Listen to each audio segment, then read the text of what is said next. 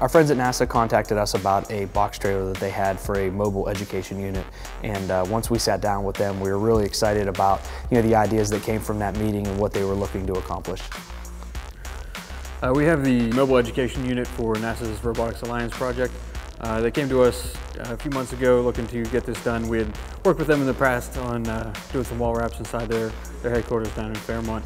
Um, like I said, they, they were looking for something, you know, it was a white trailer before and they were pulling around and it was kind of boring. So uh, they were looking to spruce it up uh, for this year and while they're taking it around so people know what's going on and, and who's pulling it around. The design of this project was actually a lot of fun because uh, NASA supplied uh, various renderings that we were able to, to use for this project. Uh, the final result is actually six different renderings that we combined, you know, everything from the texture of the ground to the various, you know, equipment curiosity that's, you know, featured on this. Uh, so it was a lot of fun working with that.